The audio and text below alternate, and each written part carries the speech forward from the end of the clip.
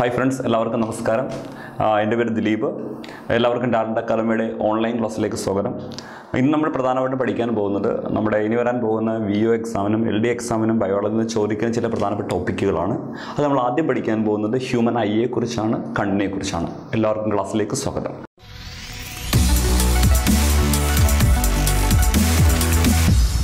Okay നോക്കാം നമ്മൾ കണ്ണിനെ കുറിച്ച് ഓക്കെ നമ്മൾ കണ്ണിനെ കുറിച്ച് പറയുന്നത് വേണ്ട ആത്മാവിലേക്കുള്ള വാതായനം. അപ്പോൾ ഒരിക്കൽ എക്സാമിന് ചോദിച്ചിട്ടുണ്ട് ആത്മാവിലേക്കുള്ള വാതായനം എന്നറിയപ്പെടുന്ന അവയവമേര ഏതാ? ഏതാണ് ആൻസർ കണ്ണാണ്. അപ്പോൾ ഈ ക്വസ്റ്റ്യൻ ഓർത്ത് വെക്കുക. ഒരിക്കൽ ചോദിച്ച ക്വസ്റ്റ്യൻ ആണ് ആത്മാവിലേക്കുള്ള വാതായനം എന്നറിയപ്പെടുന്ന ശരീരഭാഗം ഏതാ? ഏതാണ് ആൻസർ കണ്ണാണ്. ഓക്കെ നമുക്കറിയാം കണ്ണിനെ കുറിച്ചുള്ള പഠനം എന്താ? ഓഫ്താൽമോളജി അപ്പോൾ കണ്ണിനെ കുറിച്ചും നേത്ര രോഗങ്ങളെയും കുറിച്ചുള്ള പഠനമാണെന്ന് ഓഫ്താൽമോളജി ഓക്കെ അപ്പോൾ കണ്ണിനെ കുറിച്ചുള്ള പഠനമാണെന്ത്? ഓഫ്താൽമോളജി അല്ലെങ്കിൽ നേത്ര രോഗങ്ങളെ കുറിച്ചുള്ള പഠനം ചോദിച്ചാൽ ആൻസർ എന്താണ്? ഓഫ്താൽമോളജി ആണ്. ഓക്കെ ഇനി ശ്രദ്ധിക്കുക നമ്മുടെ കണ്ണിലെ കാവൽക്കാർ എന്ന് വിളിക്കുന്ന ഭാഗം കൺപോളകളാണ്. കണ്ണിലെ കാവൽക്കാർ എന്ന് വിളിക്കുന്ന ഭാഗം എന്താണ്? കൺപോളകൾ. സോ കണ്ണിനെ പ്രൊട്ടക്ട് ചെയ്യുക. പ്രധാനമായിട്ട് ഏത് ഭാഗം? കൺപോളകളാണ് അല്ലെങ്കിൽ ഐലിഡുകളാണ് ഓക്കെ അപ്പോൾ നിങ്ങൾക്ക് മൂന്ന് പോയിന്റുകളൊന്ന് പറയാം.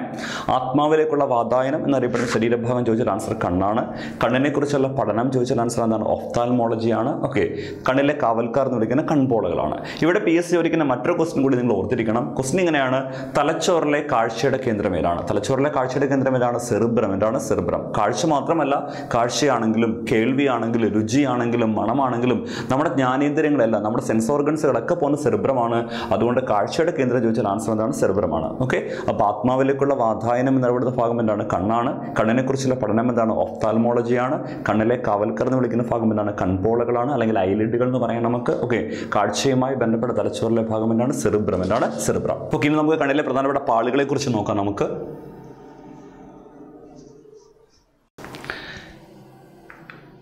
ശ്രദ്ധിക്കുക.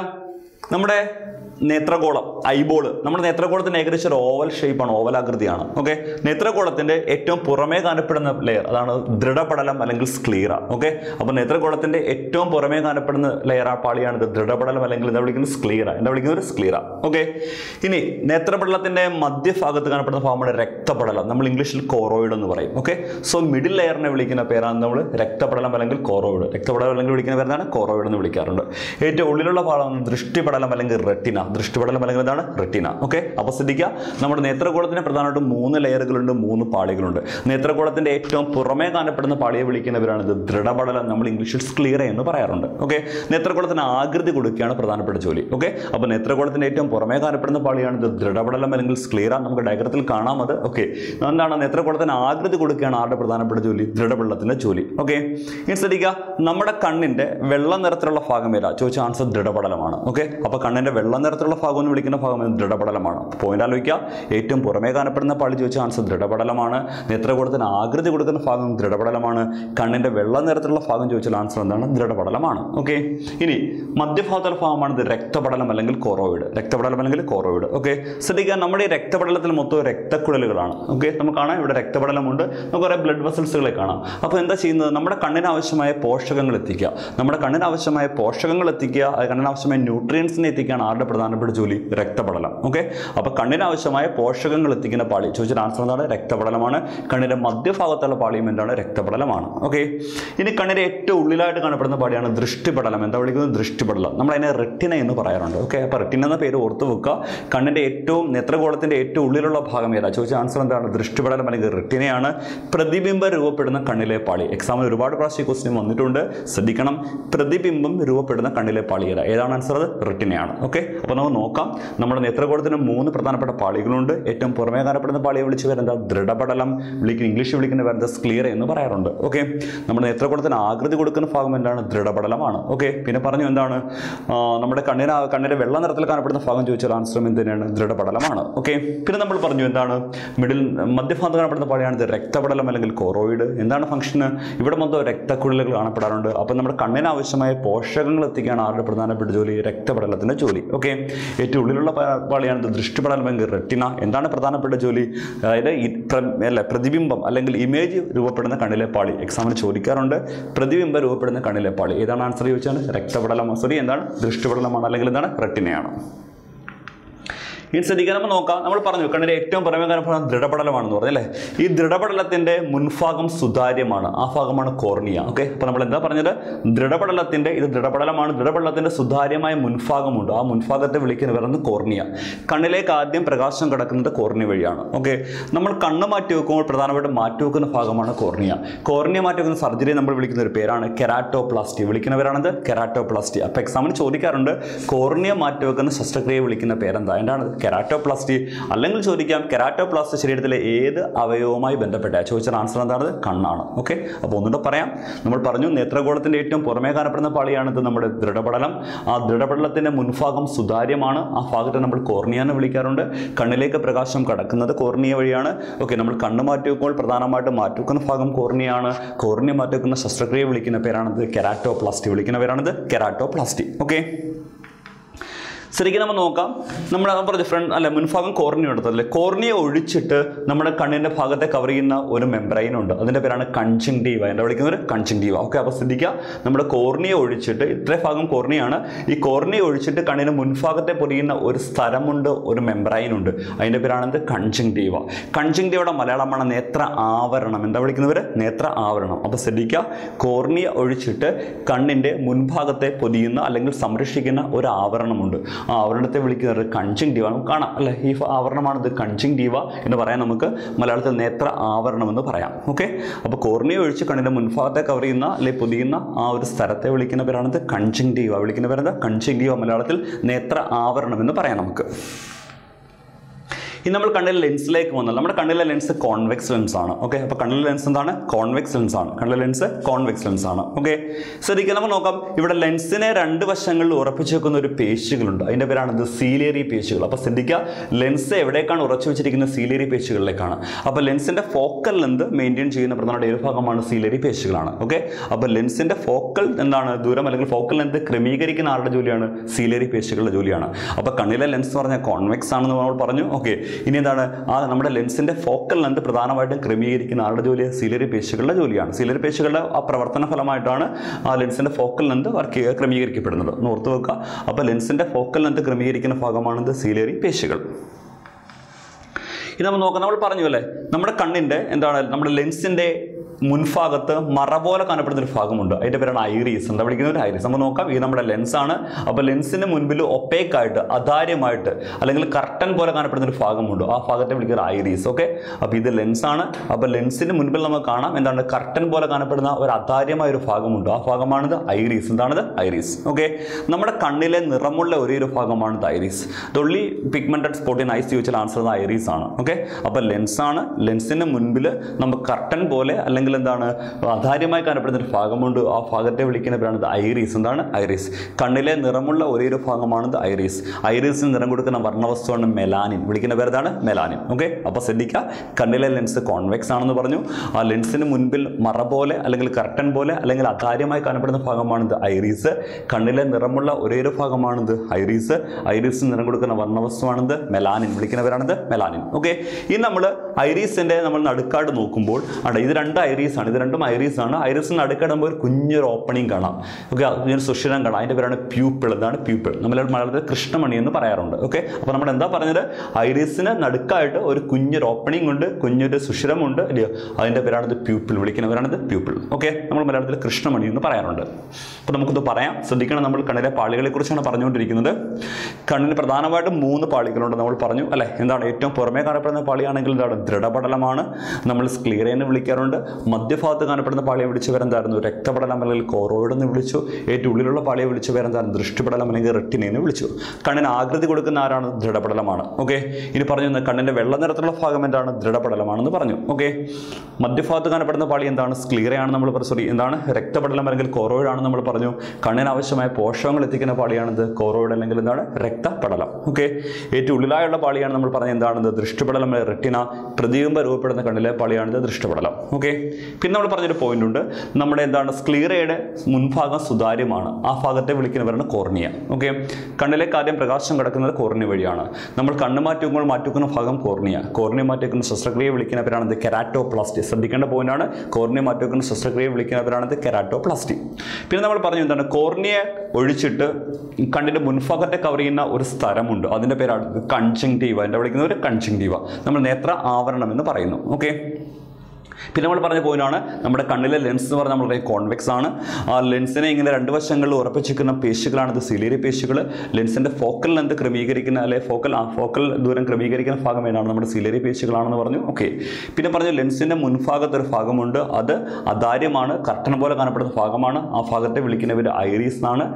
കണ്ണിലെ നിറമുള്ള ഒരേ ഒരു ഭാഗം ഐറീസ് ആണ്. ഐറീസിന് നിറം കൊടുക്കുന്ന വർണവസ്തുവിന്റെ പേര് മെലാനിൻ എന്ന് പറയാം നമുക്ക്. ഇനി ഐറീസിന് നടുക്കായിട്ട് കുഞ്ഞ് ഒരു സുഷിരമുണ്ട്. ആ സുഷിരത്തിന്റെ പേരാണ് പ്യൂപ്പിൾ അല്ലെങ്കിൽ നമ്മൾ കൃഷ്ണമണി എന്ന് പറയാറുണ്ട്. പ്യൂപ്പിൾ അല്ലെങ്കിൽ കൃഷ്ണമണി. നമ്മുടെ റെറ്റിനയിലേക്ക് വരുമ്പോൾ ഓക്കെ നമുക്ക് റെറ്റി നമുക്കറിയാം പ്രതിബിംബം രൂപപ്പെടുന്ന കണ്ണിലെ പള്ളിയാണെന്ന് റെറ്റിന അല്ലെങ്കിൽ ദൃഷ്ടിപടലം ഓക്കെ നമ്മൾ റെറ്റിനയിലേക്ക് വരുന്ന സമയത്ത് അവിടെ നമുക്ക് പ്രധാനമായിട്ടും എന്താണ് രണ്ട് തരത്തിലുള്ള കോശങ്ങളെ കാണാം. അപ്പോൾ റെറ്റിനയിൽ രണ്ട് തരത്തിലുള്ള കോശങ്ങളുണ്ട് റോഡ് കോശങ്ങളുമുണ്ട് കോൺ കോശങ്ങളും. റോഡ് കോശങ്ങളുമുണ്ട് കോൺ കോശങ്ങളുമുണ്ട് ഓക്കെ അപ്പോൾ റെറ്റിനയിൽ രണ്ട് തരം കോശങ്ങളുണ്ട് റോഡ് കോശങ്ങളുമുണ്ട് കോൺ കോശങ്ങളുമുണ്ട് ഓക്കെ രണ്ട് തരം കോശങ്ങളെ കാണുന്നത് അതിലെന്താണ് റോഡ് കോശങ്ങൾ? നമുക്ക് ശ്രദ്ധിക്കാം പ്രധാനമായിട്ടും നോക്കുക. അതായത് നമുക്ക് മങ്ങിയ വെളിച്ചത്തിൽ കാണാൻ അല്ലെ ഡിം ലൈറ്റിൽ മങ്ങിയ വെളിച്ചത്തിൽ കാണാൻ സഹായിക്കുന്ന കോശങ്ങളേറെ ഏത് കോശങ്ങളാണ്? റോഡ് കോശങ്ങളാണ്. ഓക്കെ അതുമാത്രമല്ല കറുപ്പ് വെളുപ്പ് നിറങ്ങളെ തിരിച്ചറിയാൻ സഹായിക്കുന്ന കോശങ്ങൾ റോഡ് കോശങ്ങളാണ്. ഓക്കെ അപ്പോൾ നമ്മുടെ റെറ്റിനയിൽ രണ്ട് തരത്തിലുള്ള കോശങ്ങളുണ്ട്. റോഡ് കോശങ്ങളുമുണ്ട് കോൺ കോശങ്ങളുമുണ്ട്. ഓക്കെ നമ്മൾ എന്താ പറഞ്ഞത്? മങ്ങിയ വെളിച്ചത്തിൽ കാണാനും അതുപോലെ കറുപ്പ് വെളുപ്പ് നിറങ്ങളെ തിരിച്ചറിയാനും സഹായിക്കുന്ന കോശങ്ങൾ റോഡ് കോശങ്ങളാണ്. റോഡ് കോശങ്ങളിൽ ഒരു വർണവസ്തു ഉണ്ട് അതിന്റെ പേരാണ് റൊഡോപ്സിൻ എക്സാമിന് ചോദിക്കാറുണ്ട്.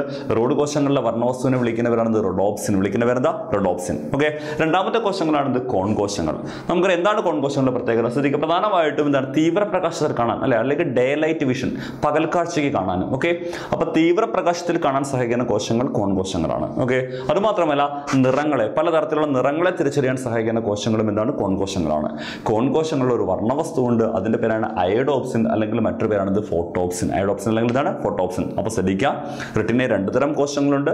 റോഡ് കോശങ്ങളുമുണ്ട് കോൺകോശങ്ങളുമുണ്ട് ഓക്കെ മങ്ങിയ വെളിച്ചത്തിൽ കാണാനും കറുപ്പോ വെളുപ്പോ നിറങ്ങളെ തിരിച്ചറിയാനും സഹായിക്കുന്ന കോശങ്ങൾ എന്താണ്? റോഡ് കോശങ്ങളാണ്. റോഡ് കോശങ്ങളിലെ വർണവസ്തുവാണ് ഇത് റൊഡോപ്സിൻ. എന്താണത്? റൊഡോപ്സിൻ. എക്സാമിന് ചോദിച്ചിട്ടുണ്ട്. റോഡ് കോശങ്ങളുടെ വർണവസ്തു റൊഡോപ്സിൻ ആണ്. ഓക്കെ രണ്ടാമത്തെ എന്താണ് കോശങ്ങളാണ്? കോൺ കോശങ്ങൾ. ഓക്കെ തീവ്രപ്രകാശത്തിൽ കാണാനും അല്ലെങ്കിൽ പകൽ കാഴ്ചയ്ക്ക് കാണാൻ സഹായിക്കുന്ന കോശങ്ങൾ എന്താണ്? കോൺ കോശങ്ങളാണ്. അതുമാത്രമല്ല എന്താണ്? നിറങ്ങളെ തിരിച്ചറിയുക. പലതരത്തിലുള്ള നിറങ്ങളെ തിരിച്ചറിയാൻ സഹായിക്കുന്ന കോശങ്ങളും ഏത് കോശങ്ങളാണ്? കോൺ കോശങ്ങളാണ്. കോൺ കോശങ്ങളിലെ വർണവസ്തു വിളിക്കുന്ന പേരാണെന്ത്? അയഡോപ്സിൻ അല്ലെങ്കിൽ ഫോട്ടോപ്സിൻ. പഠിക്കേണ്ട പോയിന്റാണ് കോൺ കോശങ്ങളിലെ വർണോസിന്റെ പേരാണ് അയഡോപ്സിൻ അല്ലെങ്കിൽ ഇതാണ് ഫോട്ടോപ്സിൻ ഓക്കെ യെസ് ശ്രദ്ധിക്കുക നമ്മൾ ഈ നമ്മുടെ ഐബോളിലേക്ക് നോക്കുമ്പോൾ ഓക്കെ നമ്മുടെ റെട്ടിനയിൽ ഈ കോൺകോശങ്ങൾ ഏറ്റവും കൂടുതലായി കാണപ്പെടുന്ന ഒരു ഭാഗമുണ്ട്. ഈ ഒരു ഭാഗം. അവിടെയാണ് ഏറ്റവും കൂടുതൽ കാഴ്ചയുള്ളത്. അപ്പോൾ ഏറ്റവും കൂടുതൽ കാഴ്ചയുള്ള ഏറ്റവും കൂടുതൽ കോൺകോശങ്ങൾ കോൺകോശങ്ങൾ റോഡ് കോശങ്ങളും ഉണ്ട്. എന്നാൽ ഏറ്റവും കൂടുതൽ കോൺകോശങ്ങളാണ്. അപ്പോൾ ഏറ്റവും കൂടുതൽ കോൺകോശങ്ങളുള്ള റെട്ടിനയിൽ ആണ് ഏറ്റവും കൂടുതൽ കാഴ്ച നടക്കുന്നത്. ആ ഭാഗമാണ് ഇത് പീതബിന്ദു. എന്താണ് പീതബിന്ദു? നമ്മൾ ഇംഗ്ലീഷിൽ യെല്ലോ സ്പോട്ട് എന്ന് വിളിക്കാറുണ്ട്. ഓക്കെ അപ്പോൾ ഏറ്റവും കൂടുതൽ കാഴ്ചയുള്ള റെട്ടിനയിലെ ഭാഗമാണ് ഇത് പീതബിന്ദു അല്ലെങ്കിൽ യെല്ലോ സ്പോട്ട് നമുക്ക് ഡയഗ്രത്തിൽ കാണാം. നോക്കിയാൽ കാണാം. നമുക്ക് അപ്പോൾ ഏറ്റവും കൂടുതൽ കാഴ്ചയുള്ള എന്താണ് റെറ്റിനയിലെ ഭാഗം ചോദിച്ചാൽ ആൻസർ എന്താണ്? പീതബിന്ദു അല്ലെങ്കിൽ യെല്ലോ സ്പോട്ടാണ് അവിടെ കോൺകോശങ്ങളും റോഡ് കോശങ്ങളും ഉണ്ടെങ്കിലും ഏറ്റവും കൂടുതൽ കാണപ്പെടുന്നത് കോൺകോശങ്ങളാണ്. ഓക്കെ അപ്പോൾ ഏറ്റവും കൂടുതൽ കാഴ്ചയുള്ള റെറ്റിനയിലെ ഭാഗമാണെന്ത്?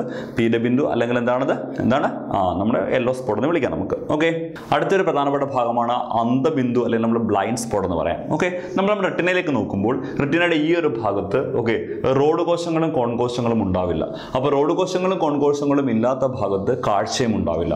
അപ്പോൾ കാഴ്ചയില്ലാത്ത റെറ്റിനയിലെ ഭാഗമാണെന്ത്? അന്ധബിന്ദു അല്ലെങ്കിൽ ബ്ലൈൻഡ് സ്പോട്ട് ഓക്കെ അപ്പോൾ റോഡ് കോശങ്ങളും കോൺ കോശങ്ങളും ഇല്ലാത്ത റെറ്റിനയിലെ ഭാഗത്ത് ഒട്ടും കാഴ്ച ഉണ്ടാകത്തില്ല. ആ കാഴ്ചയില്ലാത്ത ഭാഗത്തെ വിളിക്കുന്ന അന്ധബിന്ദു അല്ലെങ്കിൽ ബ്ലൈൻഡ് സ്പോട്ട് ഓക്കെ അപ്പോൾ ഏറ്റവും കൂടുതൽ കാഴ്ചയുള്ള ഭാഗത്തെ വിളിച്ച് പേരെന്തായിരുന്നു? പീതബിന്ദു അല്ലെങ്കിൽ യെല്ലോ സ്പോട്ട് എന്ന് വിളിച്ചു. അവിടെ ഏറ്റവും കൂടുതൽ നമുക്കറിയാം കോൺ കോൺകോശങ്ങളുണ്ട് റോഡ് കോശങ്ങളുണ്ടെങ്കിലും ഏറ്റവും കൂടുതലായിട്ട് കോൺകോശങ്ങളുമാണ് അവിടെ കാണപ്പെടുന്നത്. എന്നാൽ റോഡ് കോശങ്ങളും കോൺ കോശങ്ങളും ഇല്ലാത്ത ഭാഗത്ത് എന്താണ്? കാഴ്ച ഒട്ടുമില്ല. ആ ഭാഗത്തെ വിളിക്കുന്ന പേരാണെന്ത്? അന്ധബിന്ദു വിളിക്കുന്ന പേരാണെന്ത് അന്ധബിന്ദു അല്ലെങ്കിൽ ബ്ലൈൻഡ് സ്പോട്ട് എന്ന് പറയാം നമുക്ക്. ഓക്കെ ഇത് നോക്കി നമുക്ക് കാണാം. ശ്രദ്ധിക്കാം. നമ്മുടെ എന്താണ് ഈ ഒരു അന്തബിന്ദുവിൽ നിന്ന് ഒരു നാടി പുറത്തേക്ക് പോകുന്നത് അതിന്റെ പേരാണ് നേത്രനാടി. എന്താ വിളിക്കുന്നവർ നമുക്ക് ഡയഗ്രത്തിൽ കൃത്യമായിട്ട് കാണാം. ഇത് ബ്ലൈൻഡ് സ്പോട്ട് എങ്കിൽ അന്തബിന്ദുവാണ്. അന്തബിന്ദുവിൽ നിന്ന് പുറത്തേക്ക് പോകുന്ന നാടിയെ വിളിക്കുന്നവരാണ് ഇത് നേത്രനാടി. അപ്പോൾ നേത്രനാടി ആരംഭിക്കുന്നത് എവിടുന്ന്? എവിടുന്ന് ആൻസർ അന്തബിന്ദുവിൽ നിന്നാണ്. നമ്മൾ നേത്രനാടിക്ക് ഇംഗ്ലീഷിൽ ഓപ്റ്റിക് നെർവ് എന്ന് പറയാറുണ്ട് അപ്പോൾ നേത്രനാടി അല്ലെങ്കിൽ ഓപ്റ്റിക് നെർവ് ആരംഭിക്കുന്ന ഭാഗം അന്തബിന്ദു അല്ലെങ്കിൽ ബ്ലൈൻഡ് സ്പോട്ടാണ് ഓക്കെ ഇനി നോക്കാം നമ്മൾ കണ്ണിലെ പ്രധാനപ്പെട്ട അറകളെ കുറിച്ച് നോക്കാം നമുക്ക്. ഓക്കെ ശ്രദ്ധിക്കാം. നമ്മൾ കണ്ണിലേക്ക് നോക്കുമ്പോൾ നമുക്കറിയാം നമ്മുടെ എന്താണ് ഈ ഒരു കോർണിയയ്ക്കും ലെൻസിനും ഇടയിൽ കോർണിയയ്ക്ക് ലെൻസിനും ഇടയിൽ ഒരു ചെറിയ ഒരു അറയുണ്ട്. ആ അറയുടെ പേരാണ്? അക്വസറ. വിളിക്കുന്നവരാണിത് അക്വസറ. അപ്പോൾ ശ്രദ്ധിക്കേണ്ട പോയിന്റ് ആണ്. അപ്പോൾ എവിടെ കാണപ്പെടുന്നത്? നമ്മുടെ കോർണിയയ്ക്ക് ലെൻസിനും ഇടയിൽ. അപ്പോൾ കോർണിയയ്ക്ക് ലെൻസിനും ഇടയിൽ ഒരു ചെറിയൊരു അറയുണ്ട്. ആ അറയെ വിളിക്കുന്നവരാണിത് അക്വസറ. ആ അക്വസറയിൽ ഒരു ദ്രവമുണ്ട്. അതിന്റെ പേരാണിത് അക്വസ് ദ്രവം അല്ലെങ്കിൽ നമ്മൾ ഇംഗ്ലീഷിൽ അക്വസ് ഹ്യൂമർ എന്ന് പറയാറുണ്ട്. ഓക്കെ? അപ്പോൾ എന്താണ് അക്വസറ? കണ്ണിലെ ചെറിയ അറയെ വിളിക്കുന്നതാണ് അക്വസറ. ഓക്കെ? എവിടെ കടയിലാണ് കാണപ്പെടുന്നത്? നമ്മുടെ കോർണിയയ്ക്ക്. എവിടേക്കാണ്? കോർണിയയ്ക്കും ലെൻസിനും ഇടയിൽ കോർണിയയ്ക്ക് ലെൻസിനും ഇടയിൽ കാണപ്പെടുന്ന ചെറിയൊരു അറയാണിത് അക്വസറ. അക്വസറയിലെ ദ്രവത്തെ വിളിക്കുന്നവരാണിത് അക്വസ് ഹ്യൂമർ അല്ലെങ്കിൽ നമ്മൾ അക്വസ് ദ്രവം ഒന്ന് വിളിക്കാം നമുക്ക്. ഓക്കെ രണ്ടാമത്തെ അറയാണിത് വിഡ്രിയസറ. വിളിക്കുന്നവരുന്നത് വിഡ്രിയസറ. ഓക്കെ നമുക്ക് കാണാം കണ്ണിലെ ഏറ്റവും വലിയ അറയാണ് അല്ലേ? ഇതാണ് വിഡ്രിയസറ. നമ്മുടെ ലെൻസിനും റിട്ടിനയ്ക്കും ഇടയിൽ. അപ്പോൾ ശ്രദ്ധിക്കണം. ലെൻസിനും റിട്ടിനയ്ക്കും ഇടയിൽ കാണപ്പെടുന്ന വലിയ ഒരു അറയുണ്ട്. ആ അറയെ വിളിക്കുന്ന പേരാണിത് വിഡ്രിയസ് അറ ഒരു ദ്രവമുണ്ട്. അതിന്റെ പേരാണിത് വിഡ്രിയസ് ദ്രവം അല്ലെങ്കിൽ നമ്മൾ വിഡ്രിയസ് ഹ്യൂമർ എന്ന് പറയാം. ഓക്കെ അപ്പോൾ നമ്മുടെ മനുഷ്യന്റെ ഓരോ കണ്ണിൽ രണ്ട് അറകൾ വെച്ചിട്ടുണ്ട്. ചെറിയ അറയെ വിളിക്കുന്ന പേരെന്താ? അക്കുസറ. വലിയ അറയെ വിളിക്കുന്ന പേരെന്താ? വിഡ്രിയസറ. ഓക്കെ? അക്കുസറയിൽ കാണപ്പെടുന്ന ദ്രവത്തെ വിളിക്കുന്ന പേരെന്താ? അക്കുസ് ദ്രവം എന്ന് വിളിക്കാം. വിഡ്രിയസറ ആണെങ്കിൽ വിഡ്രിയസ് ദ്രവം എന്ന് വിളിക്കാം. ഓക്കെ? അപ്പോൾ നമ്മൾ പറഞ്ഞു എന്താണ് എന്താണ് അക്കുസറ? ആർക്കിടയിലാണ് കാണപ്പെടുന്നത്? ശ്രദ്ധിക്കുക. നമ്മുടെ എന്താണ്? കോർണിയയ്ക്ക് ലെൻസിനും ഇടയിൽ. അപ്പോൾ നോക്കുക കോർണിയയ്ക്കും ലെൻസിനും ഇടയിൽ കാണപ്പെടുന്ന ചെറിയ അറയെ വിളിക്കുന്ന വിളിക്കുന്നതാണ് അക്കുസറ. അതിനകത്ത് നടന്നിരിക്കുന്ന ദ്രവമാണെന്ത്? അക്കുസ് ദ്രവം എന്ന് പറയാം. എന്നാൽ ലെൻസിനും എന്ന റിട്ടനയ്ക്കും ഇടയിൽ കാണപ്പെടുന്ന വലിയ അറയെ വിളിക്കുന്ന പറയുന്നത് വിഡ്രിയസറ. വിഡ്രിയസറയിൽ വിഡ്രിയസ് ദ്രവത്തെ വിളിക്കുന്ന പേരാണെന്ത് വിഡ്രിയസ് ദ്രവം എന്ന് വിളിക്കാം. ഓക്കെ നമ്മുടെ കണ്ണിന്റെ ആകൃതിയൊക്കെ പ്രധാനമായിട്ട് നിലനിർത്താൻ സഹായിക്കുന്ന വിഡ്രിയസ് അറയാണ്. ഓക്കെ അപ്പോൾ കണ്ണ് നമ്മുടെ ഓവൽ ആകൃതി എന്ന് പറഞ്ഞല്ലേ ഓവൽ ആകൃതിയൊക്കെ കുറച്ചൊക്കെ നിലനിർത്താൻ സഹായിക്കുന്ന ഭാഗം എന്ന് വെച്ചാൽ ആൻസർ വിഡ്രിയസ് അറയും വിഡ്രിയസ് ദ്രവവുമാണ്. ഒന്ന് ഓർത്ത് വെക്കുക. ഓക്കെ ഇനി നമ്മൾ നോക്കാം നമ്മുടെ കണ്ണുനീരിനെ കുറിച്ച് കുറേ പോയിന്റുകളുണ്ട് കണ്ണുനീരിനെ ഉണ്ടാക്കുന്ന ഗ്രന്ഥികൾ ഏതാണ്? ലാക്രിമൽ ഗ്ലാൻഡുകളാണ്. അപ്പോൾ എക്സാമിന് ചോദിക്കാറുണ്ട് ചോദിച്ചിട്ടുള്ള ആണ്. കണ്ണുനീരിനെ ഉൽപ്പാദിപ്പിക്കുന്ന ഗ്രന്ഥികളുടെ പേര് എന്താണ്? ലാക്രിമൽ ഗ്രന്ഥികളാണ് ലാക്രിമൽ ഗ്ലാൻഡുകളാണ്. ഓക്കെ അപ്പോൾ ലാക്രിമൽ ഗ്ലാൻഡുകളാണ് കണ്ണുനീരിനെ ഉണ്ടാക്കുന്നത്. ഈ ക്വസ്റ്റൻ എക്സാമിന് വന്നിട്ടുണ്ട് പഠിക്കേണ്ട പോയിന്റാണ് കണ്ണുനീരിനെ ഉണ്ടാക്കുന്ന ഗ്രന്ഥികൾ ഏതാണ്? ലാക്രിമൽ ഗ്ലാൻഡുകളാണ് ലാക്രിമൽ ഗ്രന്ഥികളാണ്. ഓക്കെ ഇനി ശ്രദ്ധിക്കുക നമ്മുടെ കണ്ണുനീരിൽ അടങ്ങിയിരിക്കുന്ന ലോഹമുണ്ട്. അതാണ് സിങ്ക്. എക്സാമിന് ചോദിച്ചിട്ടുണ്ട് കണ്ണുനീരിലടങ്ങിയിരിക്കുന്ന ലോഹം ഏതാണ്? എന്താണ്? സിങ്ക് ആണ് ഓക്കെ ഈ നമ്മുടെ കണ്ണിന്റെ തിളക്കത്തിന് കാരണം അത് ആൻസർ എന്താണ് സിങ്ക് തന്നെയാണ്. അപ്പോൾ ഓർക്കുക കണ്ണുനീരിൽ അടങ്ങിയിരിക്കുന്ന ലോഹം ചോദിച്ചാൽ ആൻസർ സിങ്ക് ആണ്.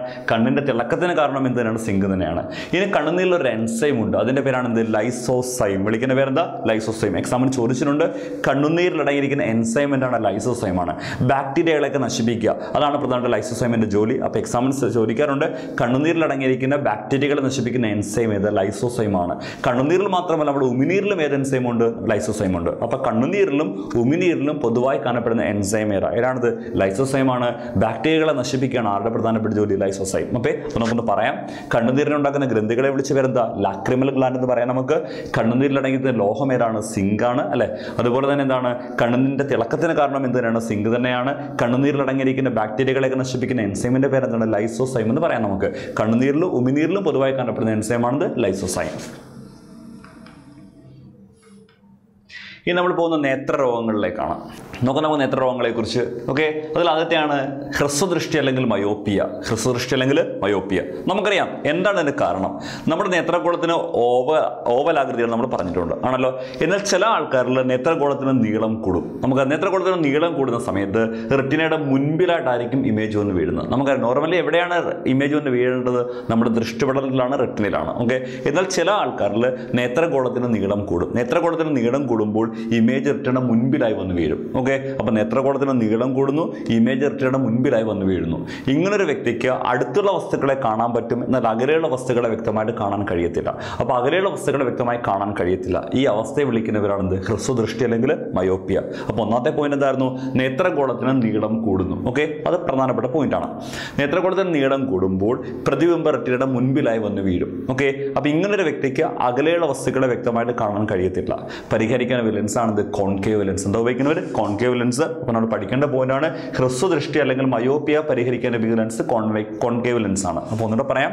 അപ്പോൾ എക്സാമിന് ചോദിക്കാറുണ്ട് നേത്രകോളത്തിന് നീളം കൂടുന്നത് മൂലം ഉണ്ടാകുന്ന നേത്രവൈകല്യം ഏതാണ്? ആൻസർ ഹ്രസ്വദൃഷ്ടി അല്ലെങ്കിൽ മയോപ്പിയാണ് മയോപ്പിയ ബാധിച്ച ഒരാൾക്ക് എവിടെയാണ് പ്രതിയൂപ രൂപപ്പെടുന്നത്? എവിടെയായിരിക്കും? റെട്ടിനയുടെ മുൻപിലായിട്ടായിരിക്കും. ഓക്കെ ഇനി മയോപ്പിയ ബാധിച്ച ഒരാൾക്ക് അകലെയുള്ള വസ്തുക്കളെ വ്യക്തമായിട്ട് കാണാൻ കഴിയത്തില്ല. അപ്പോൾ ഏത് ലെൻസാണ് ഉപയോഗിക്കുന്നത്? കോൺകേവ് ലെൻസ് എന്താണ് കോൺകേവ് ലെൻസ് അപ്പോൾ മയോപ്പിയ കറക്റ്റ് എന്ന് വയ്ക്കുന്ന ലെൻസ് ചോദിച്ച ലെൻസ് എന്താണ്? കോൺകേവ് ലെൻസ് കൃത്യമായിട്ട് മനസ്സിലാക്കണം. പോയിന്റുകൾ നേത്രകോളത്തിന് നീളം കൂടുന്നു. ഓക്കെ പ്രതിബിംബ റിട്ടേണ് മുൻപിലായി വന്ന് വീഴുന്നു.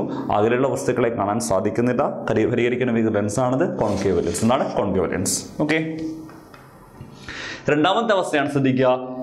ദീർഘദൃഷ്ടി അല്ലെങ്കിൽ ഹൈപ്രമെട്രോപ്പിയ. ദീർഘദൃഷ്ടി അല്ലെങ്കിൽ ഹൈപ്രമെട്രോപ്പിയ. ഓക്കെ? നമ്മൾ ആദ്യം പറഞ്ഞ കേസിൽ നേത്രഗോളത്തിന്റെ നീളം കൂടുമായിരുന്നു അല്ലേ? എന്നാൽ ഇവിടെ നേത്രഗോളത്തിന്റെ നീളം കുറയുന്നു. അപ്പോൾ നേത്രഗോളത്തിന്റെ നീളം കുറയുമ്പോൾ എന്തായിരിക്കും? പ്രതിബിംബ റെറ്റിനയുടെ പിറകിലായി വന്ന് വീഴും. അങ്ങനെ സംഭവിക്കുന്നത് ഓക്കെ? അപ്പോൾ ശ്രദ്ധിക്കേണ്ട പോയിന്റാണ് നേത്രഗോളത്തിന്റെ നീളം കുറയുന്നു പ്രതിബിംബ റെറ്റിനയുടെ പിറകിലായി വന്ന് വീഴുന്നു. ഇങ്ങനൊരു വ്യക്തിക്ക് എന്താണ്? അടുത്തുള്ള വസ്തുക്കളെ വ്യക്തമായി കാണാൻ സാധിക്കത്തില്ല. അപ്പോൾ ഉപയോഗിക്കുന്ന ലെൻസാണ് നമ്മൾ ഏത് ലെൻസ് എന്താണ് കോൺവെക്സ് ലെൻസ് എന്താ ഉപയോഗിക്കുന്നത്? കോൺവെക്സ് ലെൻസ് അപ്പോൾ കൃത്യമായിട്ട് നമ്മൾ മനസ്സിലാക്കേണ്ട പോയിന്റാണ് ഇവിടെ നേത്രഗോളത്തിന് നീളം കുറയുകയാണ് ചെയ്യുന്നത്. പ്രതിബിംബ റെറ്റിനയുടെ പിറകിലായി വന്ന് വീഴുന്നു. ഓക്കെ അപ്പോൾ ഇതിന്റെ ഫലമായിട്ട് ഒരാൾക്ക് അടുത്തുള്ള വസ്തുക്കളെ വ്യക്തമായിട്ട് കാണാൻ സാധിക്കുന്നില്ല. ഓക്കെ ഉപയോഗിക്കുന്ന ലെൻസ് ആണ് കോൺവെക്സ് ലെൻസ് എന്താണ്? കോൺവെക്സ് ലെൻസ് കോൺവെക്സ് ലെൻസ് അപ്പോൾ നമ്മൾ മനസ്സിലാക്കേണ്ട പോയിന്റാണ് മയോപ്പി അല്ലെങ്കിൽ ഹ്രസ്വദൃഷ്ടി ആണെങ്കിൽ പരിഹരിക്കുന്ന ലെൻസ് ആണ് കോൺകേവ് ലെൻസ് ആണെങ്കിൽ ഹൈപ്പർമെട്രോപ്പിയ അല്ലെങ്കിൽ എന്താണ്? ദീർഘദൃഷ്ടി പരിഹരിക്കുന്ന ലെൻസ് ആണ്. ഏത് ലെൻസ് ഏത് ലെൻസ് ആണ്? കോൺവെക്സ് ലെൻസ് ഓക്കെ അപ്പോൾ മയോപ്പിയിൽ എന്താ സംഭവിക്കുന്നത്? നേത്രഗോളത്തിന്റെ നീളം എന്താണ്? കൂടുന്നു. പ്രതിബിംബ റെറ്റിനയുടെ മുൻപിലായി വന്ന് വീഴുന്നു. ഒരാൾക്ക് അകലെയുള്ള വസ്തുക്കളെ വ്യക്തമായി കാണാൻ സാധിക്കുന്നില്ല പരിഹരിക്കാൻ ലഭിക്കുന്ന ലെൻസ് എന്താണത്? അത് കോൺകേവ് ലെൻസ് ആണ്. എന്നാൽ ദീർഘദൃഷ്ടിയിൽ നമ്മൾ എന്താണ് കാണുന്നത്? ആ, നീളം കുറയുന്നു പ്രതിബിംബ റെറ്റയുടെ പിറകിലായി വന്ന് വീഴുന്നു അടുത്തുള്ള വസ്തുക്കളെ വ്യക്തമായിട്ട് കാണാൻ സാധിക്കുന്നില്ല ഉപയോഗിക്കുന്ന ലെൻസ് എന്താണ് കോൺവെക്സ് ലെൻസ് ആണ്. ഓക്കെ എന്നാൽ ചില ആൾക്കാരിൽ ഈ രണ്ട് അവസ്ഥകളും ഒരേപോലെ വരാറുണ്ട്. ഓക്കെ അതായത് ഹ്രസ്വദൃഷ്ടിയും ദീർഘദൃഷ്ടിയും ഒരുമിച്ച് വരുമ്പോൾ ഉപയോഗിക്കുന്ന ലെൻസ് ഇത് ബൈഫോക്കൽ ലെൻസ് വിളിക്കുന്നവരുടെ ബൈഫോക്കൽ ലെൻസ് അപ്പോൾ കൃത്യമായിട്ട് നമ്മൾ മനസ്സിലാക്കേണ്ട പോയിന്റാണ് ശ്രദ്ധിക്കുക ചില ആൾക്കാരിൽ എന്താണ് ഹ്രസ്വദൃഷ്ടിയും ദീർഘദൃഷ്ടിയും ഒരുമിച്ച് വരാറുണ്ട്. അപ്പോൾ ഹ്രസ്വദൃഷ്ടിയും ദീർഘദൃഷ്ടിയും ഒരുമിച്ച് വരുമ്പോൾ ഉപയോഗിക്കുന്ന ലെൻസ് ആണെന്ന് ബൈഫോക്കൽ ലെൻസ് എന്താണെന്ന്? ബൈഫോക്കൽ ലെൻസ് അപ്പോൾ ശ്രദ്ധിക്കേണ്ട പോയിന്റ് ആണ്. മയോപ്പി ആണെങ്കിൽ നമ്മൾ ഉപയോഗിക്കുന്ന ലെൻസ് ആണെന്ന് കോൺകേവ് ലെൻസ് ആണ്. ഹൈപ്പർമെട്രോപ്പി ആണെങ്കിൽ ഉപയോഗിക്കുന്ന ലെൻസ് ആണ് കോൺവെക്സ് ലെൻസ് ആണ്. രണ്ടും കൂടി ഒരുമിച്ച് വരുമ്പോൾ ഉപയോഗിക്കുന്ന ലെൻസ് ആണെന്ന് ബൈഫോക്കൽ ലെൻസ് ബൈഫോക്കൽ ലെൻസ് കണ്ടെത്തിയ ആളുടെ പേര് ചോദിച്ചിട്ടുണ്ട്. ബെഞ്ചമിൻ ഫ്രാങ്ക്ലിൻ അപ്പോൾ ശ്രദ്ധിക്കേണ്ട പോയിന്റ് ആണ്. ബൈഫോക്കൽ ലെൻസ് കണ്ടെത്തിയ ആളുടെ പേര് എന്താണ്? ബെഞ്ചമിൻ ഫ്രാങ്ക്ലിൻ ആണ്. അപ്പോൾ മയോപ്പിക്ക് ഉപയോഗിക്കുന്ന ലെൻസ് കോൺകേവ് ആണ്. ഹൈപ്പർമെട്രോപ്പിക്ക് ഉപയോഗിക്കുന്ന ലെൻസ് എന്താണത്? കോൺവെക്സ് ആണ്. ഒരുമിച്ച് വന്ന് ഉപയോഗിക്കുന്ന ലെൻസ് ആണ് ബൈഫോക്കൽ ലെൻസ് ബൈഫോക്കൽ ലെൻസ് കണ്ടെത്തിയ ആളുടെ പേര് ബെഞ്ചമിൻ ഫ്രാങ്ക്ലിൻ. വിളിക്കുന്ന പേരെന്താ? ബെഞ്ചമിൻ ഫ്രാങ്ക്ലിൻ ആണ്. ഓക്കെ അടുത്ത് നോക്കാം നമുക്ക്. ശ്രദ്ധിക്കുക അടുത്താണ് വിഷമദൃഷ്ടി അല്ലെങ്കിൽ അസ്റ്റിഗ്മാറ്റിസം. വിഷമദൃഷ്ടി അല്ലെങ്കിൽ അസ്റ്റിഗ്മാറ്റിസം. ശ്രദ്ധിക്കുക നമുക്കറിയാം എന്താണ് നമ്മുടെ എന്താണ് സ്ക്ലിയറയുണ്ട് എന്ത് സ്ക്ലിയറ ദൃഢപടലം അല്ലേ? ദൃഢപടലത്തിന്റെ സുതാര്യമായ മുൻഭാഗത്തെ നമ്മൾ കോർണിയ എന്ന് വിളിച്ചല്ലേ കോർണിയ ഓക്കെ ആ കോർണിയയുടെ വക്രതയ്ക്ക് വ്യത്യാസം ഉണ്ടാകാം കോർണിയയുടെ വക്രതയ്ക്ക് ഈ ഒരു ഭാഗം നമുക്കറിയാം അല്ലേ? അപ്പോൾ കോർണിയയുടെ ഈ ഒരു ഭാഗം കൊണ്ട് വക്രതയുണ്ട് അല്ലേ? അല്ലെങ്കിൽ എന്താണ് നമ്മുടെ ലെൻസിന്റെ വക്രതയുണ്ട്. അപ്പോൾ കോർണിയയുടെയോ ലെൻസിന്റെയോ വക്രതയിലെ വ്യത്യാസം മൂലം ഓക്കെ അതായത് ഈ കോർണിയയുടെയോ ലെൻസിന്റെയോ വക്രതയിലുണ്ടാകുന്ന വ്യത്യാസം മൂലം ഓക്കെ ഈ അകത്തോട്ട് പോകുന്ന ലൈറ്റ് അങ്ങ് സ്കാറ്റേഡ് ആയി പോകും. അപ്പോൾ പ്രോപ്പറായിട്ട് ഇമേജ് റിട്ടിനയിൽ ഉണ്ടാവത്തില്ല. ഈ അവസ്ഥയെ വിളിക്കുന്ന പേരാണ് അസ്റ്റിഗ്മാറ്റിസം അല്ലെങ്കിൽ വിഷമദൃഷ്ടി. ഓക്കെ അപ്പം എന്താണ്? കോർണിയയുടെയോ അല്ലെങ്കിൽ ലെൻസിന്റെയോ വക്രതയിൽ ഉണ്ടാകുന്ന വ്യത്യാസം മൂലം. എന്തൊക്കെയാണ്? കോർണി ഒന്നുകിൽ കോർണിയാകാം അല്ലെങ്കിൽ ലെൻസ് ആകാം. നമുക്ക് അതുവഴിയാണ് ലൈറ്റ് കടന്നു പോകുന്നത്. അപ്പോൾ കോർണിയയുടെയോ ലെൻസിന്റെയോ വക്രതയിൽ ഉണ്ടാകുന്ന വ്യത്യാസം മൂലം ഓക്കെ ലൈറ്റ് ശരിയായിട്ട് റെറ്റിനെ പോയി വീഴത്തില്ല. അതിന്റെ ഫലമായിട്ട് അവിടെ പ്രോപ്പറായിട്ട് ഇമേജും ഉണ്ടാകത്തില്ല. ആ അവസ്ഥയെ വിളിക്കുന്നവരാണ് അസ്റ്റിക് അസ്റ്റിഗ്മാറ്റിസം അല്ലെങ്കിൽ വിഷമദൃഷ്ടി. അപ്പോൾ ശ്രദ്ധിക്കേണ്ട പോയിന്റ് എന്താണ്? കോർണിയയുടെയോ ലെൻസിന്റെയോ വക്രതയിലെ വ്യത്യാസം മൂലം. ഓക്കെ ഇമേജ് അല്ലെങ്കിൽ പ്രതിബിംബം ശരിയായി രൂപപ്പെടാത്ത അവസ്ഥയെ വിളിക്കുന്ന പേരാണെന്നത് എന്താണ്? അസ്റ്റിഗ്മാറ്റിസം അല്ലെങ്കിൽ വിഷമദൃഷ്ടി. ഇത് പരിഹരിക്കാൻ ഉപയോഗിക്കുന്ന ലെൻസ് ആണെന്ത്? സിലിണ്ട്രിക്കൽ ലെൻസ് എന്താണത്? സിലിണ്ട്രിക് ലെൻസ് വളരെ പ്രധാനപ്പെട്ട മനസ്സിലാക്കേണ്ട പോയിന്റ് ആണ്. വിഷമദൃഷ്ടി അല്ലെങ്കിൽ അസ്റ്റിഗ്മാറ്റിസം പരിഹരിക്കാൻ ഉപയോഗിക്കുന്ന ലെൻസ് ആണെന്ത്? സിലിണ്ട്രിക്കൽ ലെൻസ് ഓക്കെ അപ്പോൾ മയോക്യു മയോപ്പിക് ഉപയോഗിച്ച ലെൻസ് എന്തായിരുന്നു? കോൺകേവ് ആണ്. ഹൈപ്പർമെട്രോയ്ക്ക് ഉപയോഗിച്ച ലെൻസ് എന്തായിരുന്നു? നമ്മൾ കോൺവെക്സ് ആണ്. ഒരുമിച്ച് എന്നാൽ ഉപയോഗിച്ച ലെൻസ് ബൈഫോക്കൽ ലെൻസ് ആണ്. എന്നാൽ എന്താണ് സിലിണ്ട്രിക്കൽ ലെൻസ് പ്രധാനമായിട്ട് ഉപയോഗിക്കുന്നത്? എന്തിനു വേണ്ടിയാണ് ഇത് വിഷമദൃഷ്ടി അല്ലെങ്കിൽ അസ്റ്റിഗ്മാറ്റിസം പരിഹരിക്കാൻ വേണ്ടിയാണ്. ഓക്കെ അപ്പോൾ കോർണിയയുടെയോ അല്ലെങ്കിൽ ലെൻസിന്റെയോ വക്രതയിൽ ഉണ്ടാകുന്ന വ്യത്യാസം മൂലമുണ്ടാകുന്ന ഒരു അവസ്ഥയാണെന്ന് വിഷമദൃഷ്ടി അല്ലെങ്കിൽ അസ്റ്റിഗ്മാറ്റിസം പരിഹരിക്കാൻ ലഭിക്കുന്ന ലെൻസ് എന്താണത്? കോൺവെക്സ് സോറി എന്താണ്?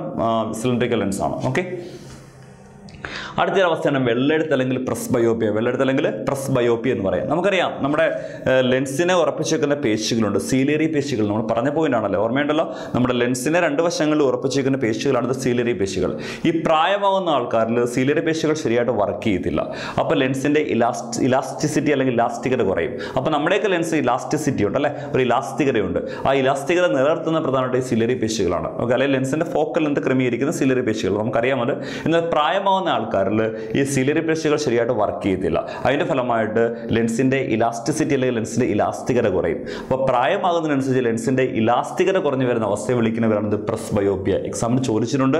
പ്രായമാകുന്നതിനനുസരിച്ച് ലെൻസിന്റെ ഇലാസ്തികത കുറഞ്ഞു പോകുന്ന അവസ്ഥയെ വിളിക്കുന്നവരാണ് പ്രസ് ബയോപ്യ. ഈ നമ്മൾ പരിഹരിക്കാൻ ഉപയോഗിക്കുന്ന ലെൻസ് കോൺവെക്സ് ലെൻസ് ഉപയോഗിക്കാറുണ്ട് ബൈഫോക്കൽ ലെൻസ് ഉപയോഗിക്കാറുണ്ട്. ഓക്കെ അപ്പോൾ ശ്രദ്ധിക്കേണ്ട പോയിന്റാണ് പ്രായമാകുന്നതിനനുസരിച്ച് ലെൻസിന്റെ ഇലാസ്തികത കുറയുന്ന അവസ്ഥയെ വിളിക്കുന്നവരാണ് പ്രസ് ബയോപ്യ അല്ലെങ്കിൽ വെള്ളെടുത്ത് ഇത് നമ്മൾ പരിഹരിപ്പിക്കാൻ ഉപയോഗിക്കുന്ന ലെൻസ് എന്താണ്? കോൺവെക്സ് ലെൻസ് അല്ലെങ്കിൽ എന്താണ്? ബൈഫോക്കൽ ലെൻസ് ആണ്. ഓക്കെ അടുത്ത പ്രധാനപ്പെട്ട ഒന്നാണ് തിമിരം അല്ലെങ്കിൽ കാട്രാക്ട് തിമിരം അല്ലെങ്കിൽ കാട്രാക്ട് നമുക്കറിയാം നമ്മുടെയൊക്കെ എന്താണ് നേത്ര നേത്ര ലെൻസ് അല്ലെ ട്രാൻസ്പെയറന്റ് ആണ് അല്ലെ? സുതാര്യമാണ് അല്ലെ? നമ്മുടെയൊക്കെ ലെൻസ് സുതാര്യമാണ് ട്രാൻസ്പെയറന്റ് അതുവഴിയാണ് ലൈറ്റ് കടന്നു പോകുന്നത് അല്ലെ? എന്നാൽ ചില ആൾക്കാരിൽ ഈ ലെൻസ് അധാര്യമായി മാറും. ലെൻസിന്റെ ട്രാൻസ്പെറൻസി കുറയും അല്ലെങ്കിൽ ലെൻസിന്റെ സുതാര്യത കുറഞ്ഞു വരും. അപ്പോൾ ലെൻസ് അധാര്യമായി പോയി ലൈറ്റ് കടന്നു പോകാത്ത അവസ്ഥ അതിനെ വിളിക്കുന്നവരാണ് തിമിരം. എന്താണ് തിമിരം? ഇംഗ്ലീഷ് നമ്മൾ കാട്രാക്ട് എന്ന് പറയും. അപ്പോൾ എന്താണ്? നേത്ര ലെൻസ് അധാര്യമായി പോകുന്ന അവസ്ഥ. ഓക്കെ? അപ്പോൾ നേത്ര ലെൻസിന്റെ ട്രാൻസ്പെറൻസി കുറയുന്നു അല്ലെങ്കിൽ നേത്ര ലെൻസ് അധാര്യമായി പോകുന്ന അവസ്ഥയെ വിളിക്കുന്നവരാണ് തിമിരം അല്ലെങ്കിൽ നമ്മൾ കാട്രാക്ട് എന്ന് പറയാറുണ്ട്. എക്സാമിന് ചോദിക്കുന്നുണ്ട് നേത്ര ലെൻസ് അധാര്യമായി പോകുന്ന അവസ്ഥ എന്താണ്? തിമിരം അല്ലെങ്കിൽ കാട്രാക്ട് ആണ്. ഓക്കെ രണ്ടാമത്തെ അവസ്ഥയാണ് ഗ്ലോക്കോമ. എന്താ വിളിക്കുന്നത്? ഗ്ലോക്കോമ. നമുക്കറിയാം എന്താണ്? നമ്മുടെ കണ്ണിലെ ഏറ്റവും വലിയ അറയാണെന്ത്? വിഡ്രിയസ് അറ. വിഡ്രിയസ് അറ നമ്മുടെ ദ്രവമാണെന്ത്? വിഡ്രിയസ് ഹ്യൂമർ നമുക്കറിയാം. അല്ലെങ്കിൽ വിഡ്രിയസ് ദ്രവം എന്ന് പറയാം.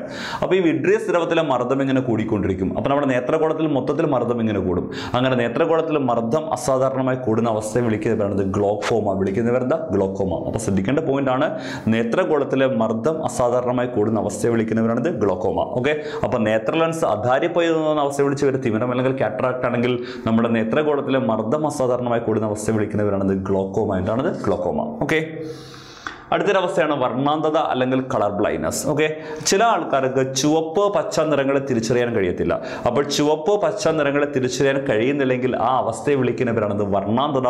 നമ്മൾ ഇംഗ്ലീഷിൽ കളർ ബ്ലൈൻഡ്നസ് വിളിക്കാറുണ്ട്. ഓക്കെ അപ്പോൾ ഇതിനെ വിളിക്കുന്ന മറ്റൊരു പേര് ഡാൾട്ടനിസം. എന്താണ് ഡാൾട്ടനിസം എന്ന് വിളിക്കാറുണ്ട്. ജോൺ ഡാൾട്ടൻ ഈ അസുഖം ഉണ്ടായിരുന്നു. അതുകൊണ്ട് നമ്മൾ ഇതിനെ വിളിക്കുന്ന മറ്റൊരു പേര് ഡാൾട്ടനിസം എന്ന് വിളിക്കാറുണ്ട്. ഓക്കെ അപ്പോൾ ഏതൊക്കെ നിറങ്ങളാണ് തിരിച്ചറിയാൻ കഴിയാത്തത്? പച്ച ചുവപ്പ്. ഓർക്കേണ്ട പോയിന്റാണ് പച്ച ചുവപ്പ് നിറങ്ങളെ തിരിച്ചറിയാൻ കഴിയാത്ത അവസ്ഥയാണ് വർണാന്തത. ഓക്കെ എന്താണ് ഇത് വിളിക്കുന്ന മറ്റൊരു പേര് ഡാൾട്ടനസ് എന്ന് വിളിക്കാറുണ്ട്.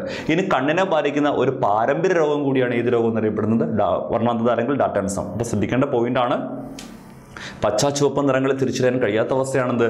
വർണത അല്ലെങ്കിൽ കളർ ബ്ലൈൻഡ്നസ് എന്ന് വിളിക്കുന്നത്? ഇനി നമ്മൾ ഡാൾട്ടനസ് എന്ന് വിളിക്കാറുണ്ടെന്ന് പറഞ്ഞു. ഓക്കെ പിന്നീട് പറഞ്ഞ പോലെയാണ് കണ്ണിനെ ബാധിക്കുന്ന ഒരു പാരമ്പര്യ രോഗമാണെന്ത്? വർണത അല്ലെങ്കിൽ കളർ ബ്ലൈൻഡ്നസ് ഓക്കെ ഈ തിരിച്ചറിയാൻ ലഭിക്കുന്ന ടെസ്റ്റ് ഉണ്ട്. അതിന്റെ പേരാണ് ഇഷിഹാര ടെസ്റ്റ് എന്താണ്? ഇഷിഹാര ടെസ്റ്റ് എക്സാമിന് ചോദിക്കാറുണ്ട്.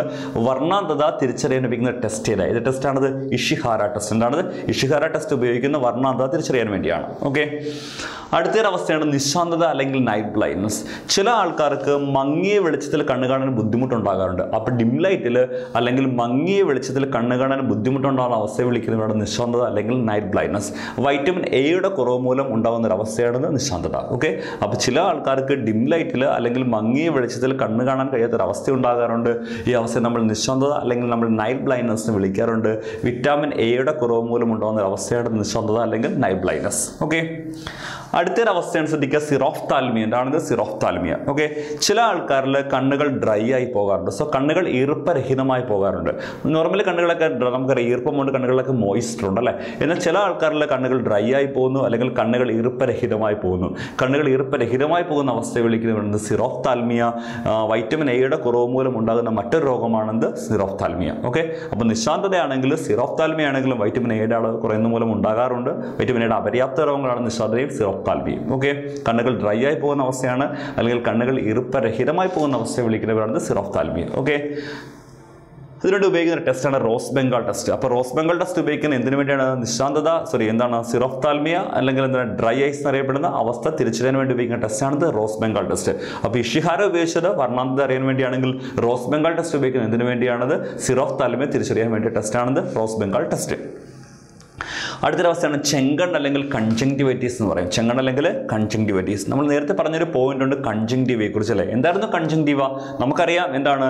നമ്മുടെ കോർണിയ ഒഴിച്ച് കണ്ണിന്റെ മുൻഭാഗത്തെ പൊതിയുന്ന ഒരു സ്ഥലമുണ്ട്. അതിനെ വിളിക്കുന്നതാണ് കൺജങ്ക്ടിവ ഓക്കെ കോർണിയ ഒഴിച്ച് കണ്ണിന്റെ മുൻഭാഗത്തെ പൊതിയുന്ന ഒരു സ്ഥലമാണെന്ന് കൺജങ്ക്ടിവ ഈ കൺജങ്ക്ടിവയിൽ ഉണ്ടാകുന്ന അണുബാധയാണെന്ന് കൺജങ്ക്ടിവൈറ്റീസ് അല്ലെങ്കിൽ ചെങ്കൺ എന്ന് പറയാം. ഓക്കെ അപ്പോൾ നമ്മൾ പറഞ്ഞു കോർണിയ ഒഴിച്ച് കണ്ണിന്റെ മുൻഭാഗത്തെ പൊതിയുന്ന ഒരു സ്ഥലമുണ്ട്. ആ സ്ഥലത്തിന്റെ പേരാണെന്ത്?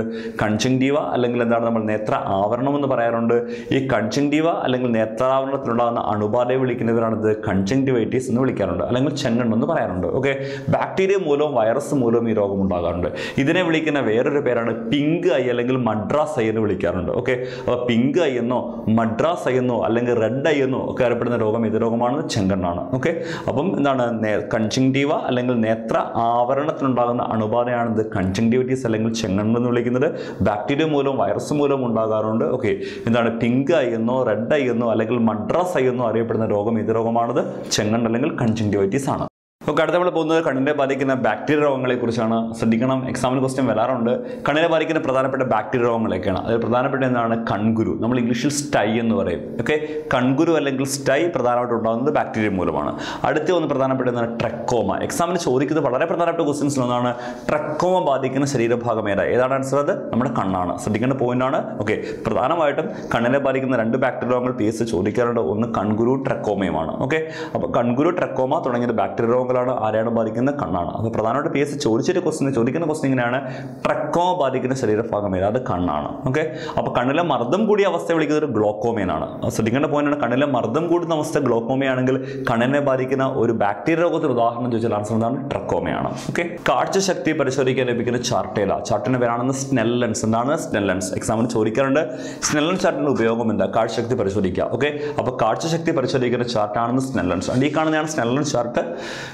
ഏറ്റവും മണ്ടെങ്കിൽ ബിഗ് ലെറ്റേഴ്സ് ആയിരിക്കും. താഴേക്ക് വരുന്ന സൈസ് കുറഞ്ഞു കുറഞ്ഞു വരും. ഇതാണ് സ്നെല്ലൻസ് ചാർട്ട് സോ കാഴ്ചശക്തി പരിശോധിക്കാൻ ലഭിക്കുന്ന ചാർട്ടാണിത് സ്നെല്ലൻസ് ചാർട്ട് ഓക്കെ ഇനി എക്സാമ്പിൾ ചോദിക്കാണ്ട് എന്നാണ് വേൾഡ് സൈറ്റ് ഡേ അല്ലെങ്കിൽ ലോക കാഴ്ചാ ദിനം എന്നാണ്. അപ്പോൾ നമ്മൾ ഓർക്കേണ്ട പോയിന്റാണ് എല്ലാ വർഷവും ഒക്ടോബറിലെ രണ്ടാമത്തെ വ്യാഴാഴ്ചയാണ്. ഓക്കെ അപ്പോൾ ഒക്ടോബറിലെ രണ്ടാമത്തെ എന്നാണ് വ്യാഴാഴ്ചയാണ് നമ്മൾ എന്തായിട്ട് ഉപയോഗിക്കുന്നത്? നമ്മൾ വേൾഡ് സൈറ്റ് ഡേ ആയിട്ട്. അപ്പോൾ ശ്രദ്ധിക്കേണ്ട പോയിന്റാണ് ലോക കാഴ്ചാ ദിനം അല്ലെങ്കിൽ വേൾഡ് സൈറ്റ് ഡേ എന്ന് വിളിക്കുന്നത് എന്നതാണ് ഒക്ടോബറിലെ രണ്ടാമത്തെ വ്യാഴാഴ്ചയാണ്. സെക്കൻഡ് തേഴ്സ്ഡേ ആണ് ഒക്ടോബറാണ്. ഒക്ടോബറിലെ രണ്ടാമത്തെ വ്യാഴാഴ്ചയാണ് നമ്മുടെ ലോക കാഴ്ചാ ദിനമെന്ന് ആചരിക്കുന്നത്. ഇന്നത്തെ ക്ലാസ്സിൽ നമ്മൾ പ്രധാനമായിട്ട് പഠിച്ചത് കണ്ണെന്ന് പറയുന്ന ഭാഗത്തെക്കുറിച്ചാണ് ഒരുപാട് ക്വസ്റ്റ്യൻസുകൾ പി എസ് സി ഭാഗത്തു നിന്ന് ചോദിച്ചിട്ടുണ്ട്. അപ്പോൾ ക്ലാസ്സൊക്കെ മനസ്സിലായെന്ന് വിചാരിക്കുന്നു. പോയിന്റ്സുകളെ കൃത്യമായിട്ട് പഠിക്കുക. അടുത്ത ക്ലാസ്സിൽ കാണുമ്പോഴേക്കും എല്ലാവർക്കും നന്ദി നമസ്കാരം. പി എസ് സി പരീക്ഷാ പരിശീലനത്തിലും പുസ്തക പ്രസിദ്ധീകരണത്തിലും നവീനമായ മാറ്റങ്ങൾക്ക് തുടക്കം കുറിച്ച ടാലന്റ് അക്കാഡമിയുടെ പ്രഗത്ഭരായ അധ്യാപകർ നയിക്കുന്ന കൂടുതൽ ക്ലാസുകൾക്കായി സബ്സ്ക്രൈബ് ചെയ്യൂ ടാലന്റ് അക്കാഡമി